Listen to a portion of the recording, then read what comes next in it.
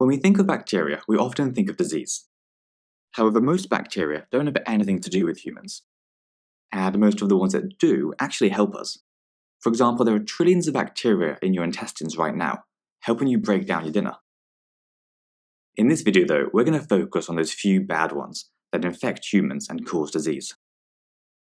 If you remember from our cells video, bacteria are single-celled organisms and are about 100 times smaller than our own cells.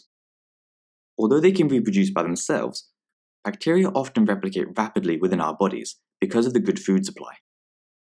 At the same time though, they might produce toxins, which make us feel ill by damaging our cells and tissues. An example of this is the case of Salmonella bacteria, which causes food poisoning.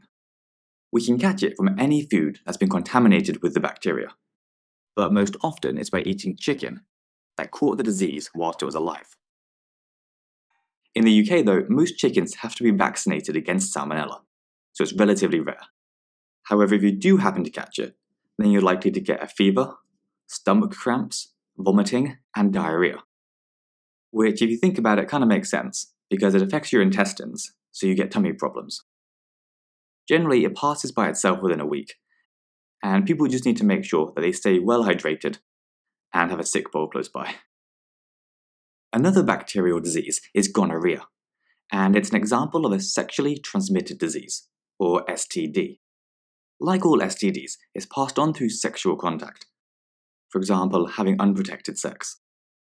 The main symptoms are pain when urinating and a thick yellow or green discharge from the vagina or penis. When you think about any disease, you should think about prevention and treatment as two separate categories. For gonorrhea, the best prevention is avoiding unsafe sex and using barrier methods of contraception, like condoms. For treatment, we used to be able to use the common antibiotic penicillin, which would cure it without any issues. However, now lots of gonorrhea strains, which just means the different types of gonorrhea, have become resistant to penicillin. So we're having to use rarer and more expensive antibiotics.